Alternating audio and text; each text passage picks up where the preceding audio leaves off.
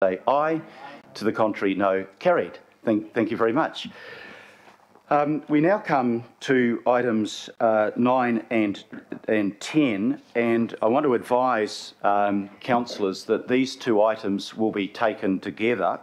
Uh, what I propose to do is have Councillor Cooper to introduce um, the, uh, the recommendations from the hearing panel, uh, but then move straight to the item number 10, which is a paper in my name, which sets out a set of alternative recommendations. Uh, it's my proposal to you that we vote on the recommendations on item 10, and should that be passed, then that would overtake the recommendations of item number 9. So I, I think that's the logical way of doing it. Um, just to point out to councillors that um, the, this discussion is not taking place in a vacuum. We've had now two workshops on it. Uh, the first workshop where councillors had the opportunity to uh, indicate their concerns and I participated in that and indicated that that's the feedback that I'd had from the general public as well. Uh, and the second workshop where the recommendations in my name were put before councillors present uh, to test the waters, and I think there was um, there was, uh, if not a consensus, close to a consensus, that these recommendations would be the uh, the preferable way to go. And I say that in no way uh, in criticism of the hearing panel. I believe that the hearing panel and officers put an enormous amount of work into this uh, and a lot of time, and they felt that they were bound by a piece of legislation, which is the Freedom Camping Act, uh, which uh, set out clear principles that uh, councils were meant to follow. We're not happy with that act. Uh, Councillor Cooper and I have both written to the Minister, and uh, I think councillors are aware that we've had a positive response from the Minister that he's happy to meet at the end of this month uh, and to consider options, and that further work could be done on the Freedom Camping Act. And I think that that would be a good thing. In the meantime, because the law is the law where it is at the moment, we've got to work within the parameters subscribed, but we need to work to find how we can get the best outcome within those parameters. So I'll come back to that shortly, but can I first uh, invite Councillor Cooper to present uh, on autumn number nine. Thank you, um, Mr Mayor. And I guess this is a bit of a moot point now, but I think that it does provide context for item 10, and I want to ask you to bear with me to read out what we have done and where we came to so that you can understand where we're going to next and to acknowledge the huge amount of work that our staff have done in our policy bylaws team. I can't fault them. Um, and also uh, in the communications team going out for submissions and also to the thousands of people who submitted because effectively this makes a lot of their submissions invalid, which is a bit of a shame. But um, I think that um, where we will hopefully land in item 10 gives us a way forward. So First, um, the panel is presenting its recommendations on the proposed Auckland Council Freedom Camping and Vehicles bylaw. And I had with me Councillor Hulse and IMSB member Tau Henare um, deliberating on the panel and going out to listen to the public. Um, and thank you to them. In September 2018, the Regulatory Committee, committee provided direction on the content to be included, included in the draft bylaw. That came back as a draft statement of proposal in November to the Regulatory Committee.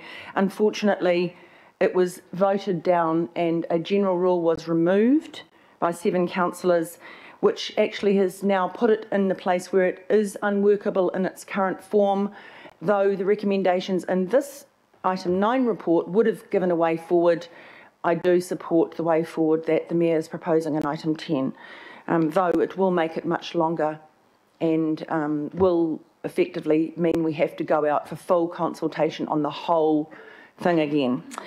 Uh, so on the 22nd of November, the governing body unanimously adopted it to go out without a general rule and it became the statement of proposal. It was uh, publicly notified for consultation from the 3rd of December to 18th of February, an unprecedented 10-week consultation. Um, the proposal included 318 areas pro prohibited, 94 areas restric restricted for self-contained vehicles only, 13 with permission to use for non-self-contained. And at the close, we had 2,694 submissions. We also received late submissions. Submitters raised 70 additional specific areas which were not included as scheduled in the areas of statement of proposal and 13 broad areas not scheduled in the proposed bylaw. Those 70 will be uh, uh, talked about in item 10. After consideration, the panel recommended 36 amendments to the, to the specified areas. So we increased the prohibited areas to 322. 94 areas restricted, though they weren't all the same. There was some changes, but it did result in the same numbers. And nine areas, we reduced the areas that could be used for non-self-contained vehicles after public submissions. So the panel finalised deliberations on the 18th of July on how to adopt and implement the proposed bylaw to provide the best level of protection to non-scheduled areas in the absence of some form of general rule. And if people don't know what that means, it's actually how do we protect, protect the streets around our areas. And we do have legacy bylaws for that at the moment, but we have no teeth in those and they are inconsistent right across the region. So we'll still be in that limbo phase until we have a freedom camping bylaw. So our recommendations on the principles of the bylaw, specific clauses, specific schedule areas, non-schedule areas and non-regulatory matters raised are recorded in attachment A of the report. And the panel recommendations support the intent of the proposal. Um, and we, you will see we had um, recommendations in the report, but I also um, ask that um, and uh, with consultation and the workshops, I think we've come to a place where those wouldn't be supported, and that would be a waste of time bringing this just to not have a way forward. So I think um, I do support the Mayor's recommendation in item 10 because we've developed them together as a council, though it was a bit of a low turnout at the last workshop, but the first workshop had a full and frank discussion, and I think that we've heard what people have had to say um, both elected and non-elected, and um, we need to move forward with this. We do have to come to some landing. We, unless the legislation changes, we don't have any way to really enforce and discourage people from parking in places we don't want them in. Um, so let's um, move forward. So I, um, in this case, uh, so I am, so I'm not to put any recommendations forward. This just sits here, but these recommendations here will mean that item nine is dealt with in the Mayor's report. So thank you, and thank you to everybody involved. Well, thank you very much, Councillor Cooper, and I do want to repeat my thanks to you, to Councillor Hulse, to Member Henare, uh, and to officers for the work that went into that. Um, I, I want to, with the uh, with the concurrence of councillors, just explain a little bit about um, paper 10. It's a little unusual that uh, there should be a paper in the name of the, the mayor, uh, but this is something that has evolved through our council processes of having considered uh, the hearing panel's recommendations and workshops, of working through those recommendations, of um, I had personal concerns, other councillors had concerns. We listened to what the public was saying to us about this, and we really wanted to. We, we heard from officers last time at well, I think at the at the uh, workshop that there are other councils that have amended their bylaws, you know, two, three, four times. Because every time you amend it, there's something else that comes up and that, that has to go back to public consultation. And I think the mood of councillors was let's try to do this once and do it right. Uh, and we didn't want to put forward something that only was a half measure. Uh, I agree entirely with Councillor Cooper. Uh, it was a mistake not to include a general rule. And Councillor Cooper, you and, and uh, the Deputy Mayor got that one right, I think, in the, the Regulatory Committee. Um, but there are a range of other things that we need to do. We do hope that the government uh, it's not the government's uh, law, it was passed in 2010, that they, that they may be flexible. But we can't sit here for, you know, the two or three years that it might take for the government to get it right. One thing that was right in the government law was that it does give us enforcement powers uh, that are infringement notices, and that aspect of it we welcome uh, and will be a big step forward. What we've tried to do in the paper that I've put forward is to indicate that even within the constraints of the existing law, we do have the ability to tighten the rules. And what we're doing in paper 10 is setting out what we think should be in the statement of, of, proposal and asking officers to come back with free and frank advice. Now, officers may or may not agree with some of the things that we put forward. And it's their, their, not their right, but it's their obligation to say if they don't agree and why not. But in the end, it will be this body that sets the rules for uh, the bylaws. But we will do that after listening to the advice and my belief is that we should try to make that statement of proposal as full as possible so we're not constantly coming back on things that we've heard in submissions but weren't put out to consultation. So there are a number of recommendations that are made there. Firstly, that there should be a general rule. And I think we need to consider what the nature of that general rule should be so that it is um, clearly all encompassing uh, but doesn't involve uh, any, any suggestion that our officers should be moving people who are homeless on because of, of uh, this, this rule. Um, you know, we have to have a compassionate approach. We've got to solve the problem of homelessness. These rules are about freedom camping, people voluntarily staying in areas um, that may be within the city, uh, residential areas, or uh, on our parks. I think we should include all of the recommendations that the hearing panel made. I think they've worked through uh, and they've extended the list of prohibitions and restrictions, and we should adopt that as part of the new statement of, uh, uh, of proposal.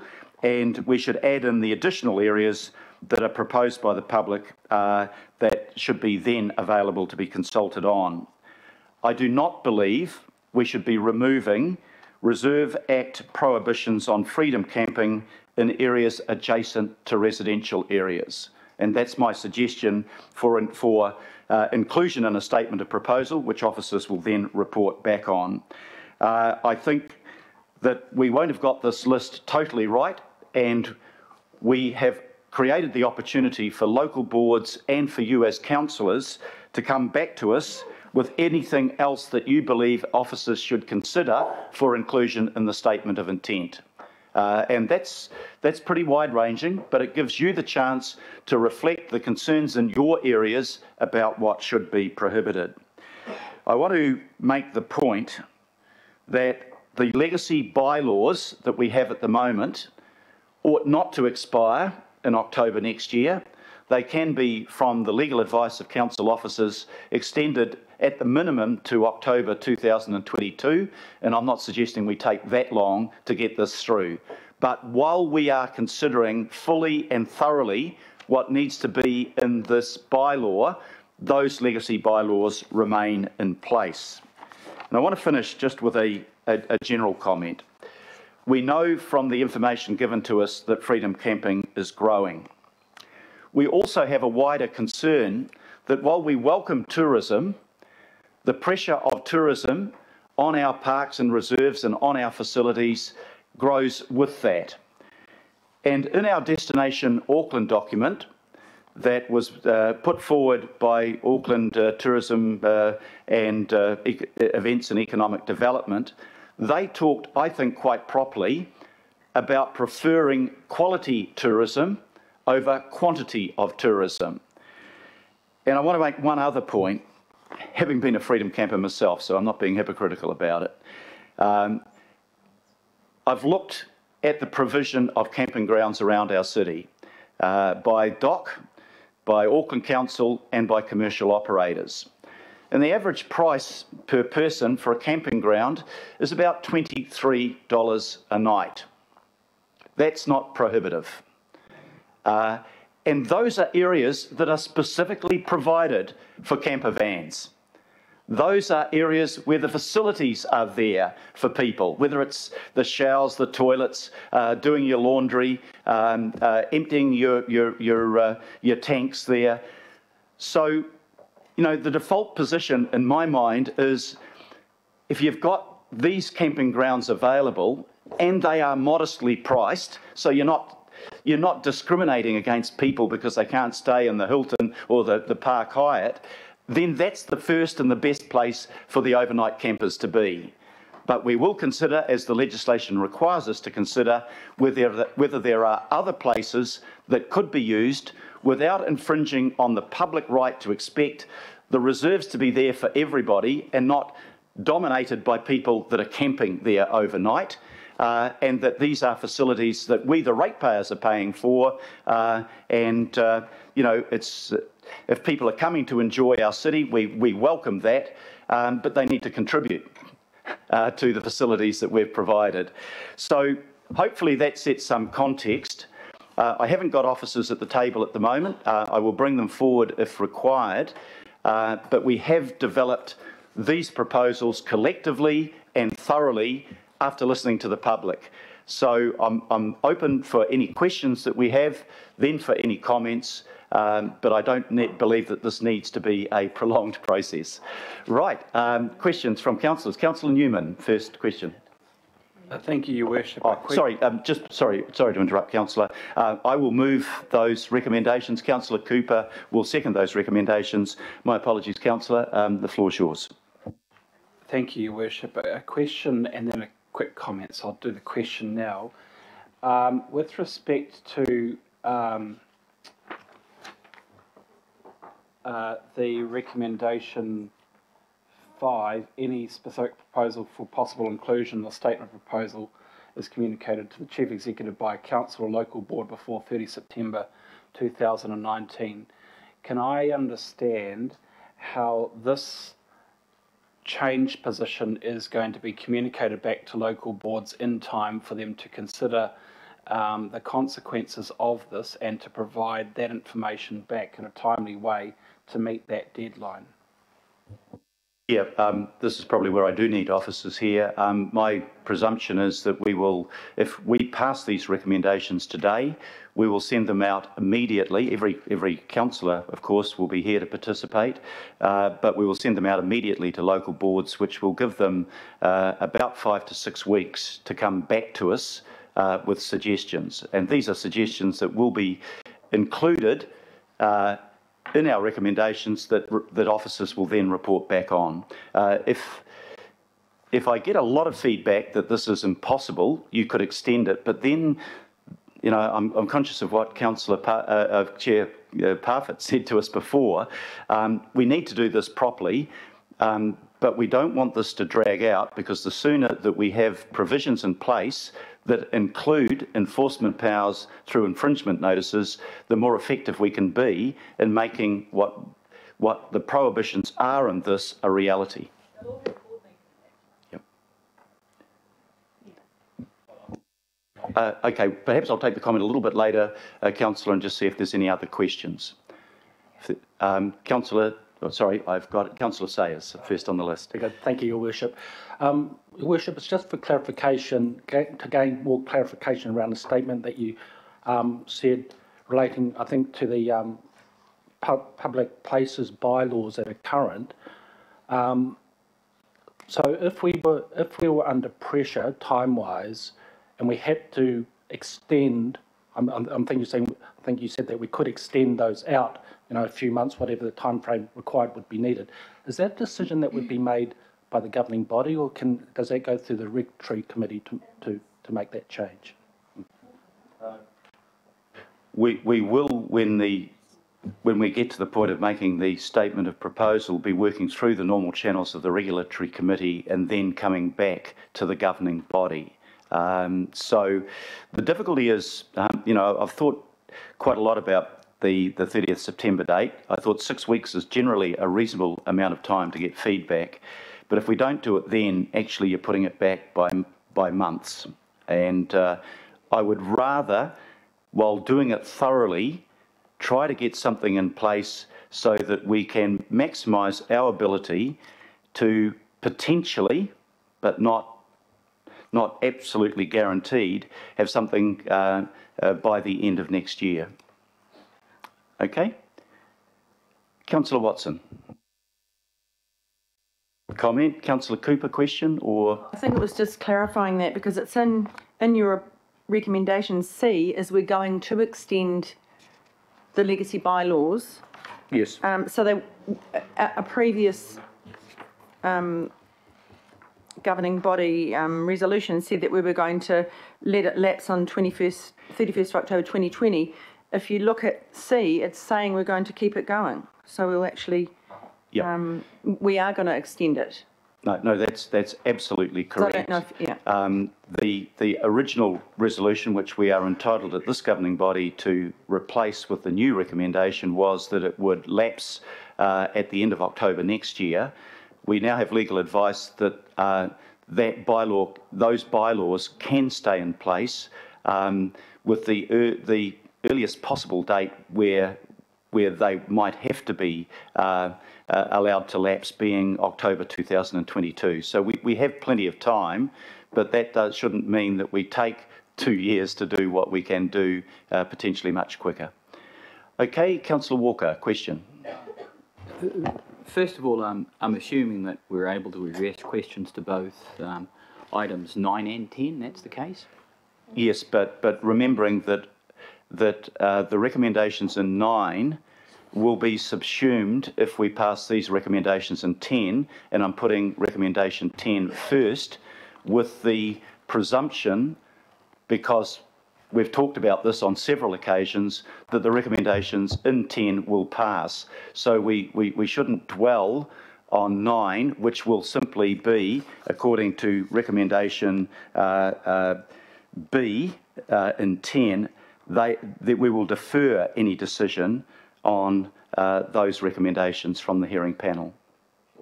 I've, I've got a few questions and uh, probably they're directed at, um, at yourself because it's item 10 that's Okay, therefore that's more good. relevant than, than 9.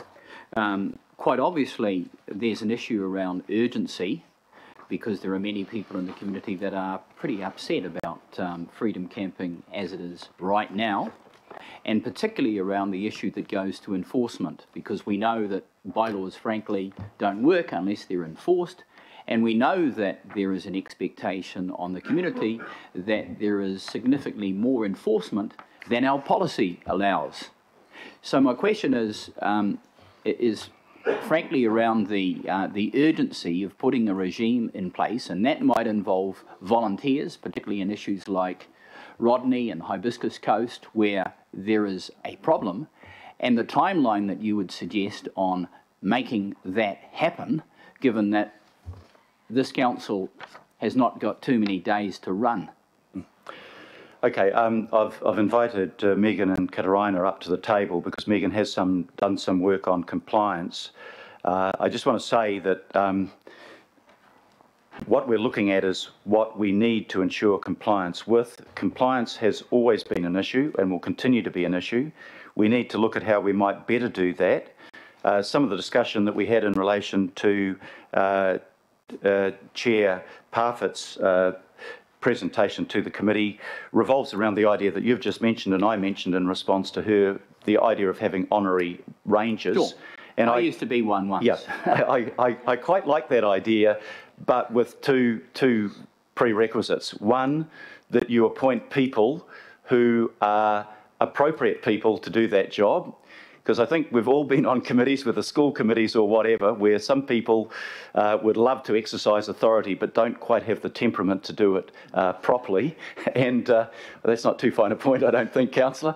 Um, and secondly, uh, is Never to make, to make sure that we have appropriate training. But I think we need a much broader discussion. And what I proposed earlier in this meeting was that we should have this discussion, whether we do that before or after the election's a moot point. But just on the question of uh, compliance, because Megan hasn't had a chance to raise uh, with us the work that she's been doing, uh, Megan, if I can ask you to, to talk to the question of compliance. Uh, Thank you, Mr Mayor. Um, Look, just uh, confirming that we understand uh, the concerns raised around summer. uh, And as uh, Chair Parfitt uh, raised, we've been doing a lot of work, uh, the compliance team have been doing work in various areas, including in Hibiscus Bays around this. So for this coming summer, just want to confirm that we are going to use interns, we, and trained, um, as the Mayor has said, to continue the, the kind of service that um, Chair Parfitt was talking about. We will be working around the region, uh, but we will have additional staff and there will be additional compliance um, around the freedom camping for this summer. a couple of further questions that go to this. So one, there's the issue of enforcement that goes to people and people on, on the ground. Uh, quite obviously, there's a related issue that goes to the budget for that and the, and the necessity for that. The third thing is the necessity for effective signage. Because right now, in many locations, the signage is woefully inadequate, and we certainly know that signage is very effective, particularly signage combined with enforcement. So those Yeah, two latter things, budget and signage. yeah. Can I just mention on the enforcement issue, and it's, I'm sure it's in your mind and other councillors, um, we know at the moment, under existing bylaws, that the only way of enforcing is to take somebody to court.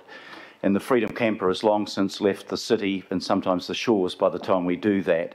The enforcement, however, can be as simple as informing people that have, that have just um, parked their van and put the awning out and put the barbecue out that there is no uh, provision for freedom camping in this area, and generally people will will take that and act without having to be prosecuted. The additional advantage, of course, of the law when we get these bylaws passed and we take that part of the Freedom of Camping Act that we like is that there will be provision for inf- infringement notices if people aren't compliant with that request. But Megan, you might like to add to that. So, budget, signs. Uh, through the chair, so just generally, we have had discussions as this committee about signage and um, finding budget for signs when required. We just had that discussion about dogs um, just a while ago.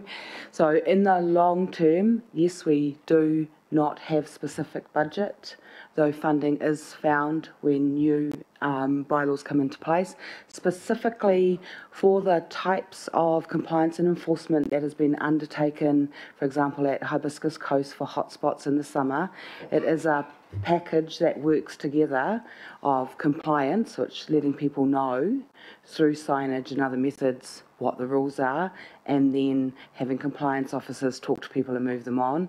So we can confirm that that will be occurring in hotspots this summer, but there will always be discussions around long-term funding of signage for compliance, and we, of course, can take your um, comments as a suggestion, as per the resolutions being put to this committee, to add back into the feedback, to bring back in terms of advice on the future. So, so just coming back to my question, are we going to see more signs in all of the locations where it's desirable, and particularly the locations where people and communities bring the issue to our attention? So, through the chair, as stated, we can bring that advice back to you in the new term for you to consider long term how that goes with whatever freedom camping approach you have in the future. For summer, we will run the hotspot compliance and enforcement as was run in Hibiscus Coast last summer. So that is the answer. There's not going to be a long-term fixture of all signage across the region for summer. It'll be hotspot focused.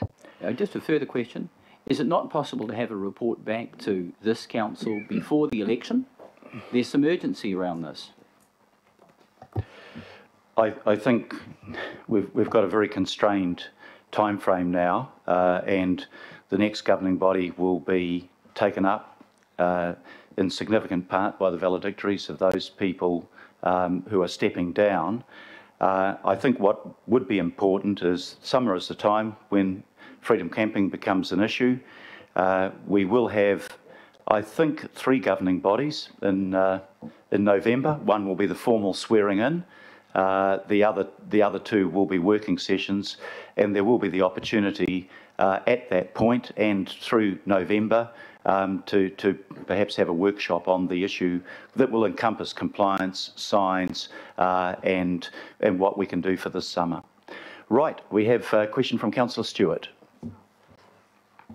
Thank you. Just um, maybe if you can answer me this, just on the general rule that regu- regulates freedom camping outside restricted prohibited areas not listed on the proposed bylaw, you have here that a prohibited, prohibition of a freedom camping vehicle parked directly outside a residential home, it can happen unless the resident has granted permission for the vehicle to be parked outside their home. The concern, and, and maybe you can answer, is the concern is that what is now happening, people are actually paying like a rent, they're actually renting to be able to park outside a person's property. And this is something that is actually happening. And there's also um, a lot of these uh, camper vans that are parking outside residential property. Um, you you see they're getting power from they're being powered from from residential houses. So people in the in, in the neighbourhood aren't happy um, with having um, these camper vans, or they're not even just camper vans. It might be just a van or um, parked outside. And the way the way things are going at the moment with people that are struggling to find rental accommodation, this seems to be happening more and more. So, can you just explain what we can do there? It's just it's just it is a bit concerning that. Um, an owner or somebody renting a property might say to take rent from somebody and allow them to stay there for quite some time because the other residents in the street aren't happy with it. I think that comes down to timeframes. If you're talking about freedom camping, um, freedom camping is not an excuse for somebody to be parked uh, in one place indefinitely. Um, we're talking about freedom camping, the people that are visiting the area as tourists, and under most general rules, there will be a time frame set down as to the appropriateness of how long somebody should be there. We are, however, constantly finding, trying to find balance, because you might have some relatives up from Wellington, and they come up in their camper van, they've been touring the city, and they want to stop at your place and park out on, you know, you might want them up their driveway. If you've got a driveway, that's how you'd accommodate them. Um, but I don't want to be overly bureaucratic and say to people, well, you can't have your friends from um, down country parking outside your place for a day. You'd, you'd say that, you know, we're, we're being authoritarian and we're being busybodies, etc. So it's finding that balance, councillor, I think. But uh, uh, Megan uh, or Katarina, you might like to say something further about that? Uh, Just to clarify, there will be a range of issues and different perceptions people have, and that's one of the reasons why the resolutions provide clear direction for staff to proceed on, but also allow us to provide you back with advice around what those range of issues might be to consider. If, I just can just just further on to that, um, just if you can just answer, we we have a, a situation that I'm sure that you're aware of, of um, in the Uxbridge car parking in Howick, where there's somebody that, that's been parking a camper van for probably five or six months, and he leaves it there during the day, and sometimes if he if he um, the enforcement people have looked into it. Sometimes, if if somebody comes and knocks on his on his door, he he'll move it and he'll move it to a private car park somewhere up the road, and then the next morning it's there and it's there all day. You see the windows open, having cups of tea. Uh, It's obvious. Uh, so how how can we how how can we um, sort that situation out? I think through the chair, look, that's quite site specific. Perhaps I could speak to councillor afterwards and we can just make sure we continue to deal with that. Thank you. Right, we now come to comments, and councillor Newman, you'd uh, indicated uh, a desire to comment.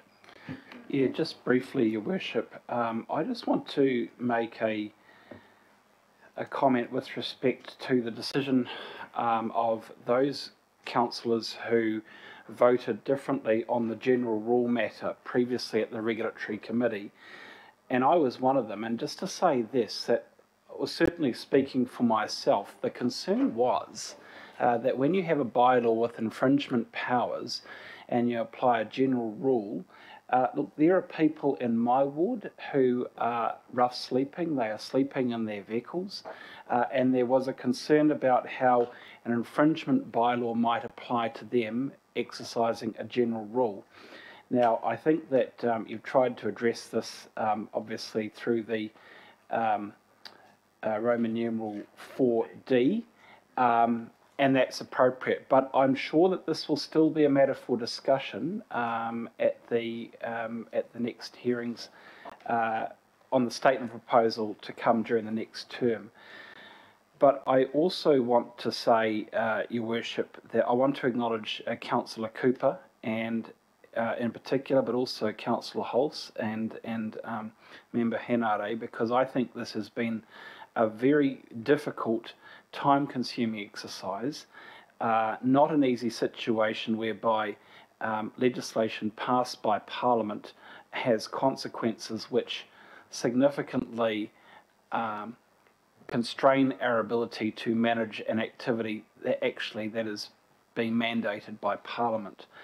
But in saying that, Your Worship, uh, I'd also want to acknowledge you and uh, your leadership on this matter, which I think does respond to a widely held concern in the community, uh, and to move the, uh, I guess, the, the onus back on to uh, the council to come up with rules that place the quiet enjoyment of residents in their community uh, ahead of the Freedom Campers is something that I think the community will appreciate. So I certainly want to give notice that I will have a list of sites uh, that I wish to have uh, considered for inclusion in the statement proposal before the 30th of September. Um, and I want to thank officers in advance um, for their consideration of this because there are certainly sites in my ward where there I think that we do need to uh, consider those sites and include them in the schedule for sites to be where freedom camping will be prohibited, um, as well as other sites which where freedom camping may be allowed, but it will be allowed on, on restricted um, terms. So um, thank you for for um, item 10, and I'm happy to vote for those recommendations. Thank you, Councillor. Councillor Watson. Thank you, Mr Mayor, and, and, and I too would just like to uh, commend uh, your role in this, uh, clearly responding to the, the feedback from right across Auckland um, for a tighter regime. Um, and, and it's good to see you've written to the Minister, and, and because I think that's a sentiment that's kind of held right across New Zealand. Um, and too often we, um, as a council, have been reluctant to, I think, take that approach a little more uh, forcefully than has been the case in the past. Um, certainly, when the super city was set up, there was there was a was a there was a observation made that um, the Auckland Council might present some sort of challenge to, to the government, to Parliament, um, in terms of a, a powerhouse. I don't think that's eventuated, but uh, at all. But it is good to see in instances like that where, you know, the ball's kick back down to their side of the field because they have created this situation um, that, that we have been aware of in our various communities for quite some time are having perverse effects. Um, so, so and, I, and I think a number of your suggestions will go some way to, to dealing with those perverse effects, and I think particularly of the, you know, the, the prohibition on um, re reserves in residential areas, uh, and the general rule, Uh, you know, the notion that people just can't come along and park outside other people's property and affect the, you know, the amenity of their life. That's highly desirable and, and, and pragmatic. And I would just say in passing it, it does reflect the views of a number of people in the regulatory committee who were pushing for a more restrictive regime, tried to get additional sites added as prohibited, weren't satisfied with the general rule, um, not just from the point of view of humanity to the homeless. I mean, they're the last people who should then be getting persecuted for not being able to to have a roof over their head, then getting moved on from you know some area they're trying to survive, but also with the, the general rule as it would have existed, and that was where people could just rock up for for for two nights, and then maybe if they're in prime spots, get replaced by someone else for another two nights. That wasn't clearly going to deal with the situation either. So that was uh, a little bit more background to that um, discontent with the, with the general rule. I also really appreciate your comments, Mr Mayor, that allude to the opportunities for council to exist. And one of the hot spots, the Hibiscus Coast in Orewa, there is a lovely big council camping ground 100 metres along the road mm. that is not at full capacity for large parts of the year. Mm-hmm. Why on earth, if the cost is reasonable, would you have people camping free next to it and your council owned facility that is catering for those people not being used? And even if that meant some you know, reorganisation of the facilities that were, perhaps a more basic facility for the, for the drive, and I don't know. But that is something we should be picking up, not just in our area, up in Councillor Sayers, another hot spot, where they have two other beautiful council campgrounds at Whangateau and Martins Bay that are ideal for this type of, of, of camping. So I think we should be pushing that as you have, you know, suggested yourself too. Uh, and I would just say, given, you know, recent events, for the safety of the campers too. I know a number of these sites I've seen that identified that are suitable in the sense that they're away from communities, but they're not suitable for campers. They're rather isolated. And if people are by, there by themselves, uh, as we have found out in, in, recent times, there is a danger to, to, to the people coming from overseas camping. Um, finally, as far as the enforcement goes, that was reassuring from Megan, I think went quite some way to uh, satisfying the concerns of the Hibiscus Coast Board in terms of the use of interns and concentrating on the spots that, that are problems. So that, that's good. The beach wardens is a good idea. In some communities, every single beach uh, on Hibiscus Coast used to have wardens. And I know now there's no shortage of volunteers. Mm. Uh, people actually come forward and say, look, we remember we had wardens, we'd be willing to do that. And they are appropriate people. You know, we, we, we don't, we don't want um, little Hitlers, but, but I'm sure there's any number of people that could do that. And that would be a good community spirit. Uh, and it goes to other things. As far as signage goes, we have had uh, issues that have been solved by good signage. Set netting, we had a, a, a, saga that rolled on for five years. It was solved by two good signs put down in Arkles Bay. The problem went away overnight. Some of our signage, like election signs, I might add, some are more effective than others than standing out and hitting people between the eyes. Our signage sometimes can be a bit small. Steve Pearce has made admirable efforts to secure signage that sees people, I would suspect that good signage in the right place, clearly visible, will solve 95% of the problems in the immediate future. So once again, thank you, Mr Mayor. Thank you for your intervention. I think we're on a much better road now. Thank you very much, Councillor. Councillor Walker.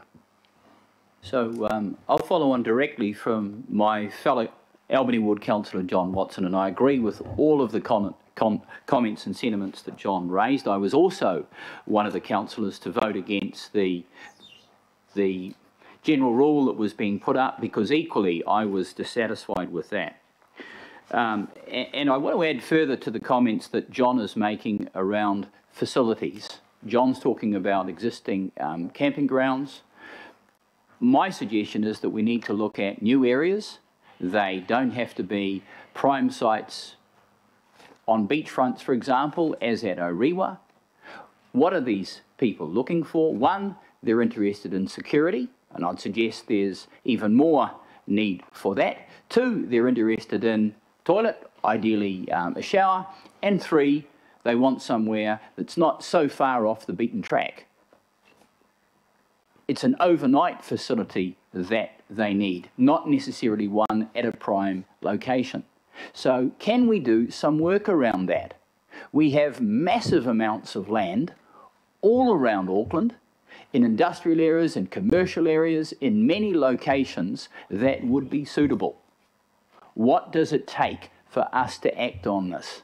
So I want to put that up. Secondly, there's a critical requirement, as Councillor Watson mentioned, for signs. Those signs can be simple, they can be cheap. We can operate in collaboration with the community. I'm sure there are many people in the community that will be happy to put up signs in appropriate locations if we empower them. And equally, we should be looking at a voluntary regime similar to the beach warden regime that Rodney District Council had. I was a beach warden, one of many. We used to have regular meetings. We were trained, we knew what to do, and it was effective because certainly in Rodney, which was near enough half the Auckland region in terms of size, that particular council recognised that it was impossible to enforce without a regime that worked with the community. So what I see going forward is an imperative for us to work with the community. Because these people that are freedom camping, some of them are smart. They'll shift. They'll come back. They'll shift somewhere else and the problem doesn't go away. The only way you deal with that is by having people on the ground and effective signage to cover the base. So let's get on with that, and it's urgent. Thank you. Thank you, councillor. And to conclude, councillor Simpson. Oh, I'm sorry, councillor Cooper as well. Councillor Simpson. Oh, your worship, you know, if you felt a, a, warm breeze through the door of your office on level 27 on Monday, it was probably the collective sigh of relief from half of Auckland when they read your paper. Um, I, I absolutely want to thank you and your staff for the work that you have done around this. Um, I know from uh, personal experience, I have spoken to a number of the people in your office and so have a number of people who uh, are from my ward. I want to acknowledge somebody in the room. Um, I'm probably not going to name you, just for your own protection, maybe. But there is a person here today who has come and spent time with your office, spent time with your staff, spent time with me, who understands this better than all of us put together, I would think. She's done a huge amount of work. Councillor Sayers, you know who I'm talking about. And I think that she needs to be acknowledged as well. There are people out there in the community who were so upset that they got all sorts of legal help and other help to help them, you know, get the right conclusion. I believe that you have done what any good mayor should done and have listened. And there is no reason that anybody around this table could not vote for every one of your recommendations. I have a few issues with the process that's happened up to this point, and I'm not going to highlight them because I don't think that's helpful at all. But I will make a couple of comments. I think people like Māori wardens and beach wardens are a great concept, and they're out there. We know they're out there. We need to spend some more time about that. Um, I also think that there are a, a couple of process issues. When councillors make a decision like we do on this bylaw, we have to be involved in the process around that consultation. I believe there's been a disconnect and I think that needs to somehow change. Um, the second highest feedback on restriction was around Tamaki Drive, and I, like other councillors um, and local boards, I'm sure, will have quite a healthy list for you by the end of September. And I think you have given adequate time frame for that. You've given five weeks. Every local board will have a meeting if they want to resolve on that. And I think one of the process issues was that local boards were not able to feedback after they had heard back from their communities. And I think if we use them correctly, that's probably been, a, been something that we need to look at. But I 100% support your uh, recommendations, and if you hadn't put them up, I tell you I would have been having a, a good go at them myself. So thank you very much, thank your staff very much, and I absolutely 100% uh, support every single one of them. Thank you. Thank you, Councillor. And to conclude, Councillor Cooper. Thank you. Um, I wasn't going to speak, but there's some things that have been said that make it sound as if the panel did not consider a lot of what's been said here, and we absolutely did, and we addressed a lot of it. Um, the other issue for me is this conversation around the general rule. Um, a lot of what's talked about here, all these people move on and come back, those people are not freedom campers. They're often beneficiaries who get 200, between 200 and lucky 300 a, a week, who cannot afford to pay for a, you know, $27 every night it's nearly all of their, their benefit because they're not freedom campers. Um, so absolutely understand people had concerns, but you can't have it both ways. You can't say, oh, we've got to be compassionate with um, homeless people, but then say, no, they can't stay anywhere and they must go to a camp. So I think there's a lot of work to go, and we can, you know, I can hear a lot of derisive laughter, you know, around this whole thing, but this is going to happen again. We've got to do it all again it's not a done deal yet. We're just putting off the fateful day unless we get a legislative change, which I really hope we do, because it's a piece of um, legislation that's actually unworkable. It's permissive unless you prohibit, rather than prohibited unless you permit, which would be much more workable. Um, you know, we've got we've got some people saying, "Oh, it shouldn't be out of the way places." No, well, we took those out of the way. We took them out because some of our southern local boards were absolutely clear that people could be harmed if they stayed in places. And then we've got some people saying, well, let's use industrial areas. Well, they're the very places where people get killed. We had that uh, poor security guard in an industri- a, a lonely industrial area in Henderson. So you can't say one thing and then want another. It just doesn't work. So we've got to find a sensible way forward. Um, and I'm very clear that at our regulatory meeting when this, when the general rule was taken out, is that it was all thinking about the homeless. It wasn't thinking about, you know, your friends Marjorie and Jim who used to live in Remuera but now live in the Hawke's Bay and want to come up and stay in their beautiful self-contained camper van. But they can't because you haven't got any parking places in your property and you're not allowed to stay outside. And so we've got to think about the balance here. I was just in Hobsonville Point a couple of weekends ago and looked like a friend was staying outside someone's terrace house because they haven't got enough room for their friends to stay in their driveway, but they were just staying outside visiting their friends. And so we've got to find a balance where we allow that to happen because most of the problems are really from people that are homeless. And already in the proposed the statement of proposal that we already had said we will deal with those people in a compassionate way. And that's why the Mayor said, let's transfer that over. It's not as if we didn't deal with it. And our compliance staff said to us at that meeting, we will do that. We know the difference. And our staff do know the difference because they deal with it all the time. And so I think we could find a balance. Um, the other thing around signage, we dealt with that too.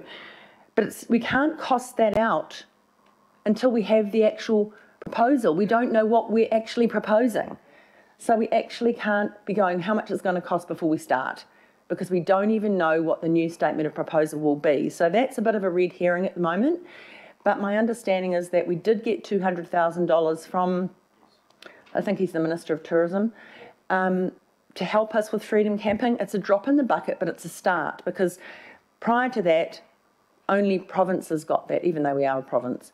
Um, Auckland wasn't considered, we were considered too wealthy to get that. So that's actually broken that glass ceiling, as you said, Mr Mayor, that we might get some support with that.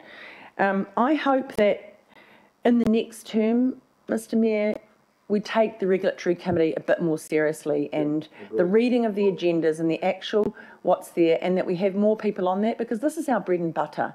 And as we've seen with the number of submissions, people really care about this stuff because it affects them, affects them in their daily lives, and we all need to take responsibility for it.